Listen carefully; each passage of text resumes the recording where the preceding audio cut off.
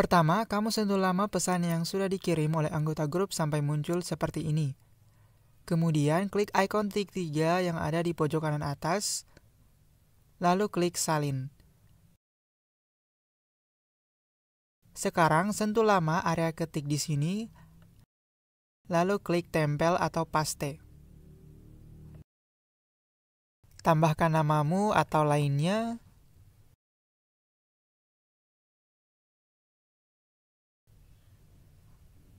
lalu klik kirim. Sesimpel itu. Semoga tutorial melanjutkan list di WhatsApp ini bermanfaat. Jika kamu punya pertanyaan atau tanggapan lain, kamu bisa tulis di kolom komentar. Like dan subscribe jika perlu agar saya makin semangat. Dan sampai jumpa di video saya lainnya. Bye.